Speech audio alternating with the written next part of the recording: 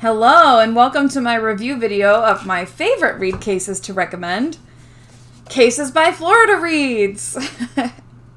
I really love these cases because they're durable, they're beautiful, they're vented properly, and they hold as many reeds as you could possibly need.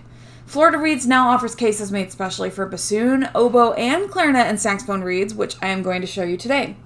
A few disclaimers before we continue. First, there have been significant upgrades over the years based on customer feedback, which I'll show you in this video. Second, these cases are fully customizable when it comes to colors for both the outside of the case and the actual ribbon inside the case. That's for all for all the bassoon and oboe cases. Third, there's a significant wait time of a few weeks to a few months for these cases due to high demand because they're amazing. Florida Reeds is a one man operation, and custom 3D printed cases can take a while to make, so remember to be patient when waiting for your order. I promise it's worth the wait. Let's take a look at all the different cases that you can buy from Florida Reeds. First up, we have the Custom 20 Reed Bassoon Case. This case, as it's titled, can carry up to 20 different bassoon reeds. This case design is also used for the 5 and 10 reed cases if you want a thinner, smaller option. I wanted to feature this case first because I'd like to show you the difference between this case, made recently, and my case, which I ordered about two years ago. This is my case, made for 10 bassoon reeds and 5 contra reeds. I wanted both because it's super convenient to be able to keep all my reeds in one place, and it still fits in the front pocket of my bassoon case. As you can see, both cases have the interlaced plastic hinges, I've had many wooden cases over the years that were very beautiful, but they all cracked on me over time. I can see myself keeping these Florida Reeds cases forever. They're super durable. Another upgrade to point out between my older case and this new design is the reed holding ribbon itself. In my older case, it's quite hard to push the reeds between the ribbons. And I have some fear of my reed corners hitting each other and getting damaged. I also worry about the farthest reed to the edge of the case. I rarely use these slots because I worry about the reed hitting the edge of the case. Like that. In the new design, Devin has obviously taken the customer feedback seriously and made some upgrades. you you can see when I try putting a reed in this case that the ribbons allow it's a lot it's a lot easier. It's the the spaces between the ribbons are much bigger. The ribbons are a little bit easier to move. It's still secure. And at the far edge of the case, you can see there's a lot more room to allow the reed for safe placement of a reed so it doesn't hit the edge of the case. I absolutely love these upgrades. They make this case so much more user-friendly while maintaining that high expectation of keeping my reeds safe. If I shake my case upside down, those reeds are not moving. They're not going anywhere. Another feature I want to point out that you'll see on all of these cases is the super strong magnets used to close these cases. Right up here. I don't usually change my reed in the middle of the performance, but if you do, it might be a good idea to keep this case open while you play, since these magnets make some loud snap noises to close. I'll try and do it softly. Yeah. it still makes a kind of a big noise. Ah, there we go.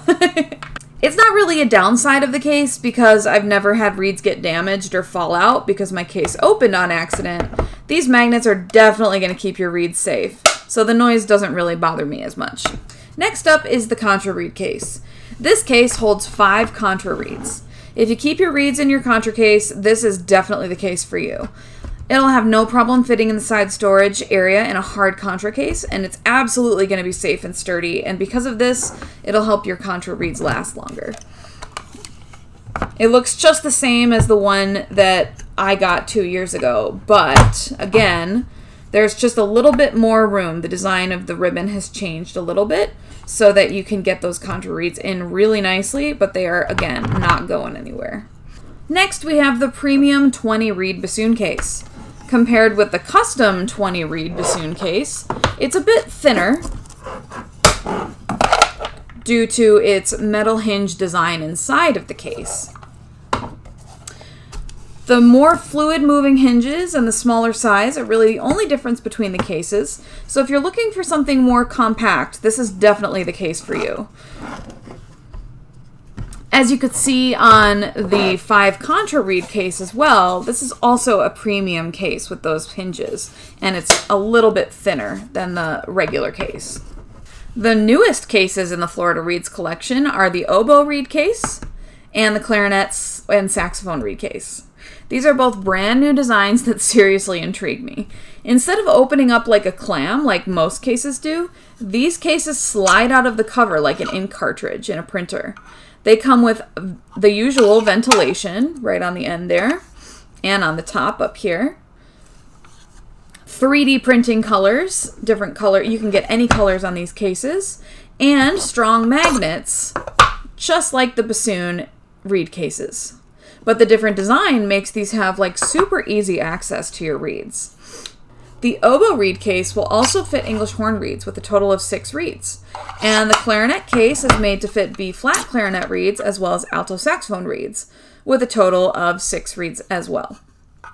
The oboe reed case has a reed ribbon similar to the bassoon reed cases, while the clarinet case has those pressure holders like most single reed cases. What I love about the clarinet case is not only the cool design, but also that the fact that the slots are actually numbered for you so you can remember which reed you're using. As you can see, I usually write numbers on my reeds to remember which one I'm actually using. So uh, this was a feature that was really appreciated. on the back, we go 456. That's wonderful. My only issue with these new cases are that the oboe case places the reeds quite close together. So they're just a little bit hard to get out of the case just because my fing I mean maybe my fingers are just really big, but that's a little bit difficult for me.